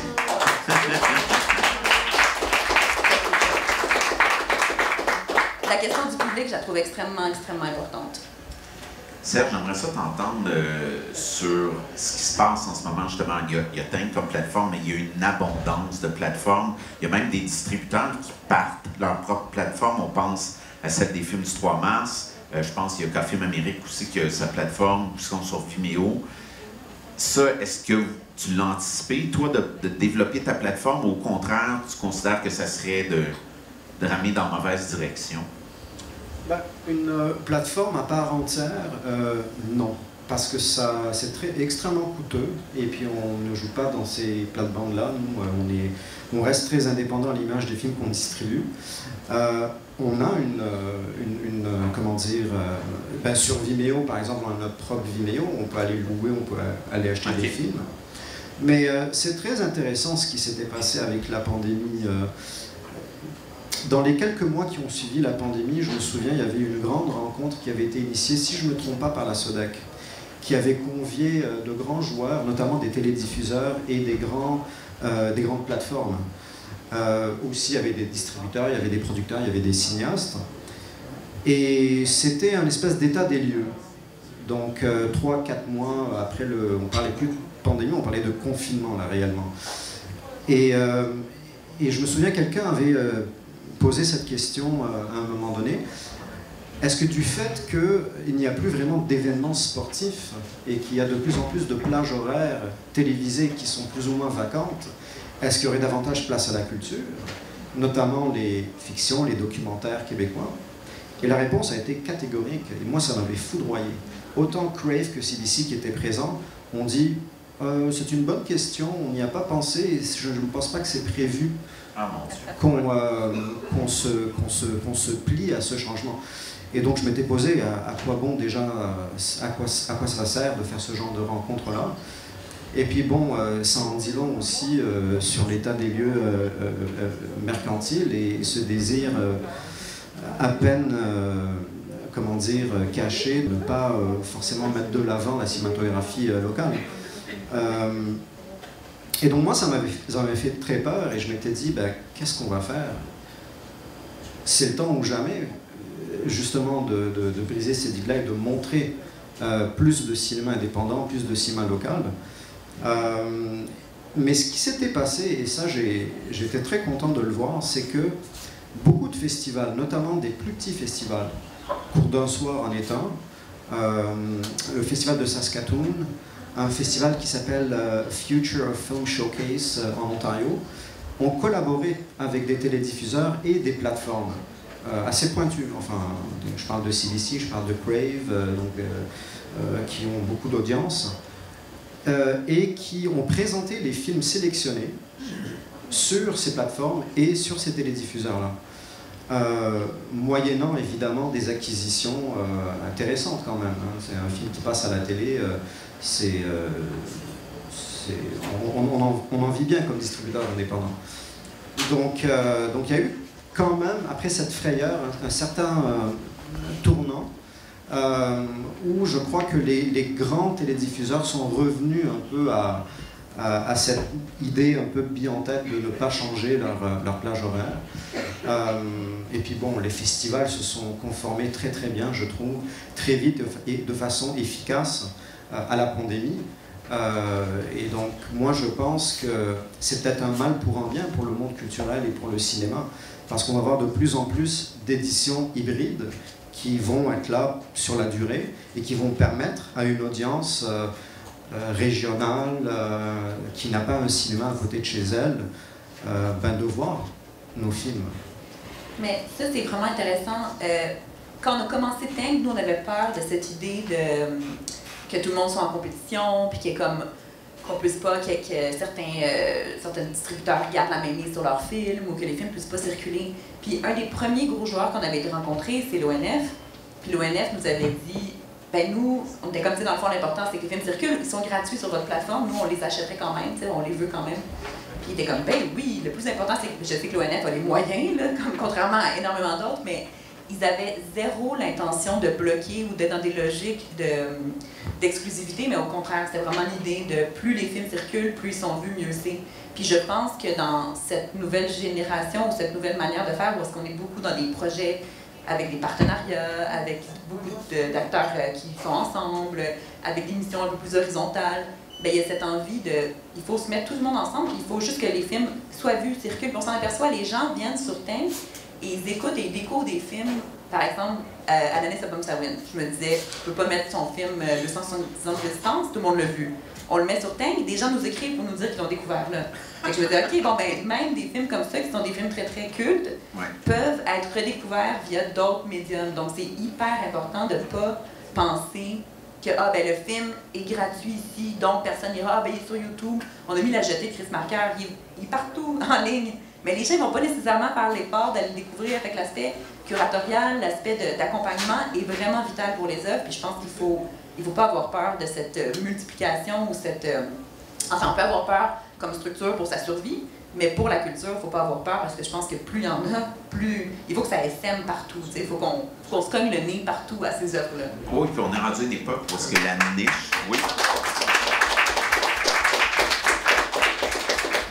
On, avait peur des niches, mais finalement, c'est ça la clé du succès. Maintenant, il faut être niché, il faut trouver un public ciblé parfaitement, puis comme ça, on peut l'accompagner. Puis, euh, et toi, par rapport à la pandémie, la, la plateforme, est-ce qu'il y a eu un changement? Est-ce qu'il y a eu plus d'abonnements? Est-ce que vous avez senti quelque chose?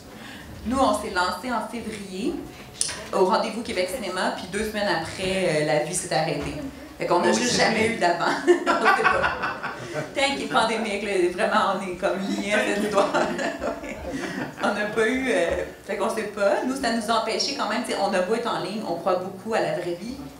Fait qu'on aurait voulu aller rencontrer les gens dans les festivals, aller euh, vraiment sur place. Je pense que les abonnés se découvrent vraiment un à un, puis il faut aller les rencontrer parce que, justement, je fais pas confiance aux algorithmes ou aux publicités Facebook pour aller nous chercher les gens. Je fais confiance à la vie, là, puis à les rap- au rapport humain. Sur quoi on essaie de miser, on est vraiment une espèce d'anti... euh, anti-intelligence artificielle, le tank. Là. On est vraiment dans des logiques, euh, justement, curatoriales, très humaines, très euh, lentes, de recherche. Donc, ça n'a vraiment rien à voir. On ne sait pas. Moi, je pense que la pandémie nous a empêchés d'aller vers les gens. On essaie de se reprendre petit à petit avec la réouverture, mais sinon, je pense que ça nous a quand même aidé parce que les, tout d'un coup, les médias parlaient de quoi voir sur Internet, mais je trouve qu'il y a une paresse des médias aussi. Au début de la pandémie, c'était génial parce que les médias n'avaient rien, rien, à se mettre sous la dent. Fait que là, ils parlaient de films, euh, justement, des perles féministes trouvées par une de nos curatrices qui, est, euh, qui fait son doctorat. des trucs super pointus. Le devoir en parlait. Puis là, maintenant, je vois le courrier des écrans, puis c'est comme le nouveau, euh, je sais même pas, le nouveau blockbuster, genre, dont tout le monde parle. Puis je suis comme, quelle paresse, tu sais. Oui. Vous êtes le devoir, comme faites cette recherche-là. Je comprends que. Parce que moi, je crois aussi beaucoup à ce rôle-là, qui est un rôle social. C'est Jean-Luc Godard qui avait dit que la télé, c'est comme un robinet, puis si on met de l'eau empoisonnée, on empoisonne tout le monde. Mais ça, c'est le rôle des journalistes, le rôle des critiques, le rôle de la télé, puis le rôle surtout du mainstream d'aller ouvrir un peu. Comme, faites pas juste des, trucs nichés, je comprends, je comprends les logiques euh, économiques derrière, mais t'en mets un peu. Le devoir peut se permettre de faire quelques petits entrefilets sur des œuvres plus pointues. Tu peux te permettre de le faire. Ils ont juste le courrier des, des- des écrans. C'est envoyé à tout le monde sur une infolette. Comme tu peux te le permettre de rajouter. Tout le monde va en entendre parler de ton blockbuster, on le sait. Eh oui, comme pas besoin. Tu sais, il y a comme vraiment une espèce de, de lâcheté, je trouve, de la part de certains acteurs culturels où je me dis, il faut que ça change. tu. Ça, euh, Tu veux dire quelque chose, vas-y. Mais euh, Je vais c'est- vraiment drôle parce que tu, tu m'enlèves les mots de la bouche. J'allais justement euh, citer Godard. hein. C'est une phrase qui ressemble un peu à, la- à la- à- à celle-ci. Il disait que lorsqu'on regarde le petit écran, on baisse la tête. Quand on va au cinéma, on la relève. Et ce qui est intéressant avec la pandémie, elle a fait que ben, on n'avait que le petit euh, télévi- téléviseur finalement. Mais la donne a changé. C'est-à-dire qu'on a euh, dû se, se, se, se- conformer à l'état des lieux et changer notre posture de visionner des films en ligne où c'était tout le temps de la, de la consommation. Moi qui est un grand cinéphile, j'avais du mal avant la pandémie de regarder euh, un film intelligent euh, sur une plateforme par exemple, à la télé ou sur mon ordinateur. Puis là on était, euh, et Tank était parmi de ceux qui ont dit ben, il est temps de regarder sur le petit écran en relevant la tête en fait et de montrer une, belle programmation intelligente, réfléchie, d'un film à l'autre qui résonne à la longue sur la durée. Et donc là, c'est intéressant de voir comment on va encore inverser à nouveau cette donne-là avec le retour euh, très lent euh, En salle. en salle. On va y arriver, mais je veux juste faire un petit aparté sur les médias parce que je suis dans les médias. Non, non, mais vous allez voir, c'est. La critique de la critique.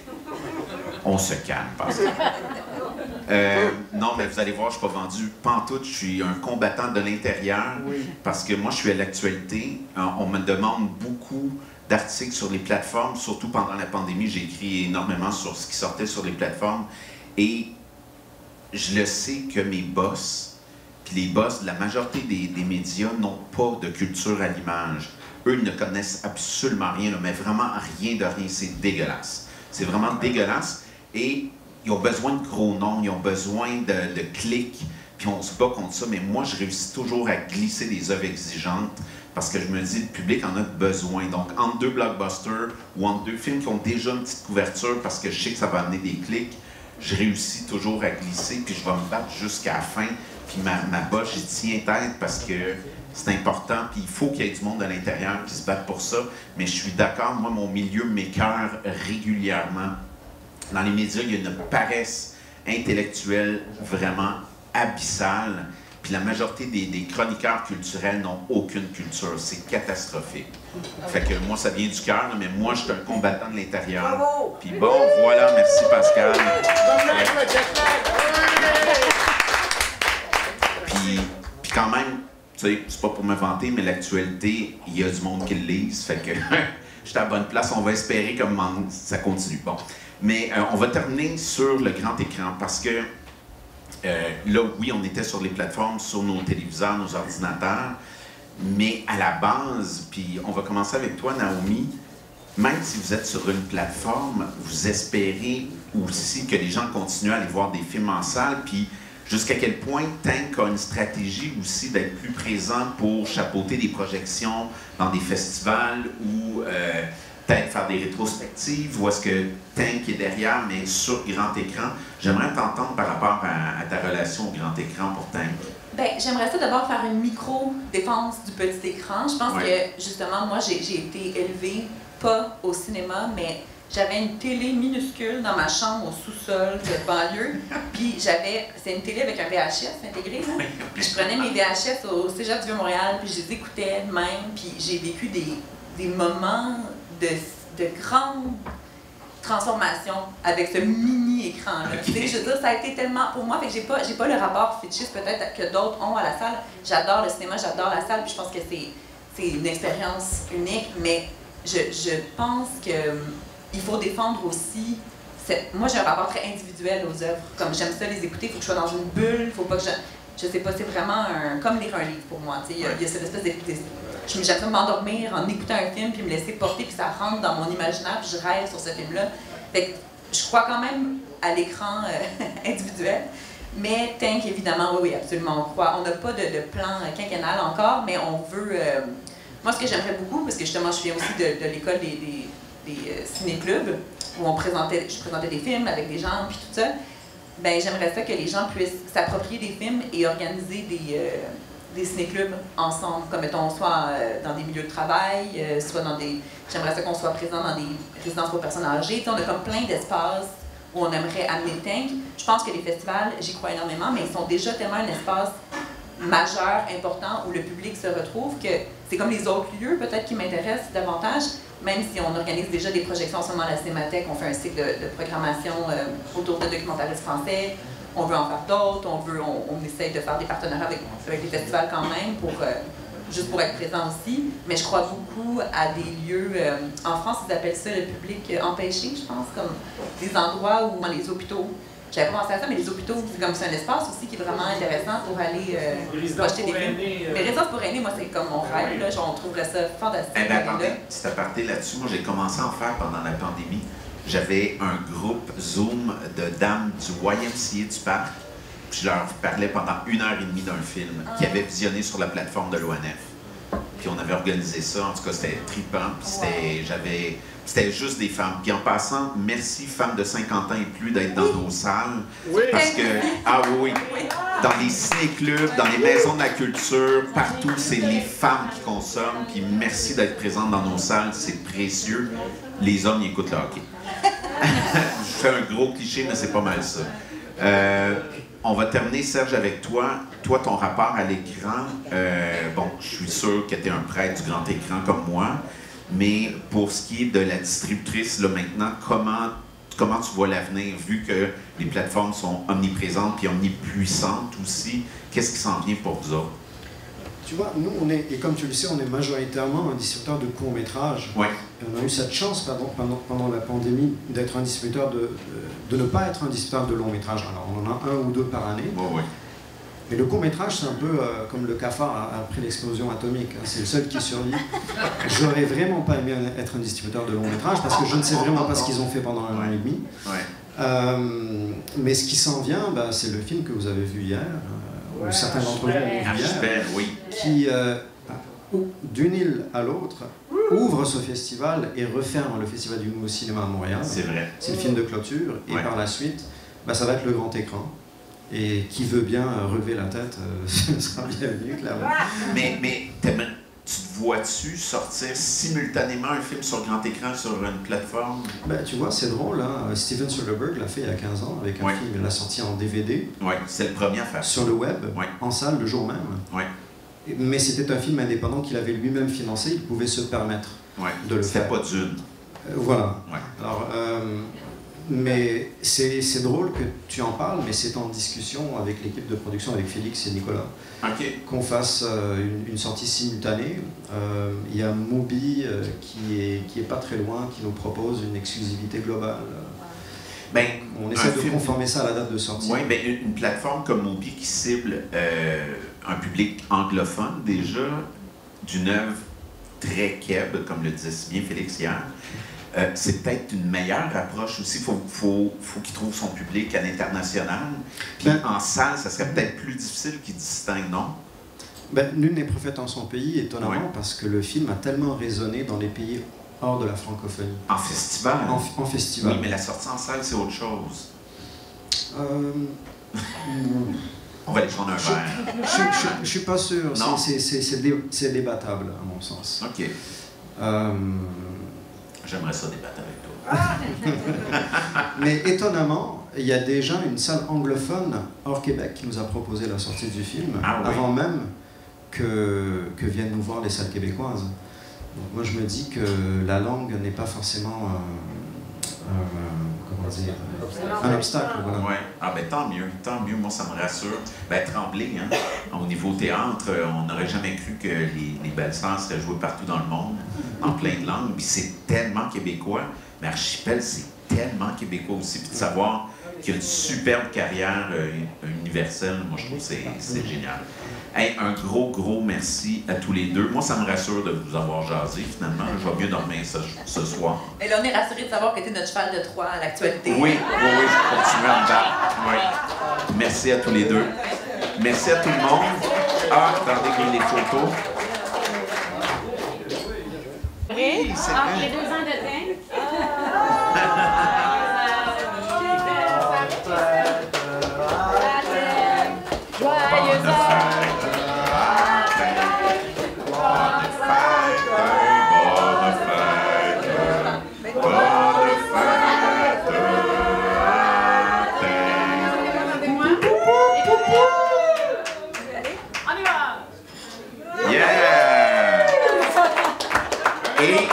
a un autre anniversaire, les, anniversaire. les presque 10 ans de la distributrice. Oui! Bonne fête, la distributrice. Bonne fête, la distributrice. Bonne fête, bonne fête. Bonne fête, la distributrice. Profitez du sol arabe sur l'île. hein.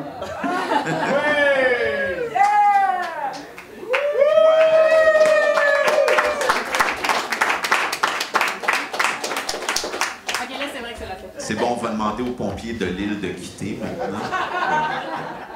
Fait qu'on se retrouve, euh, regardez, là, il est 20h05, on se donne 20h30 euh, pour euh, le film Les Fils avec Manon.